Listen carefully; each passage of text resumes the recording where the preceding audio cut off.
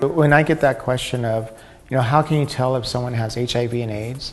And I would say, well, what you need to do is look in the mirror and look at yourself. And that's my explanation because you can't tell. If you look at yourself and you know that you're not HIV positive, and how do you know that? Or how are you sure? Well, if you haven't gotten an HIV test, you're not.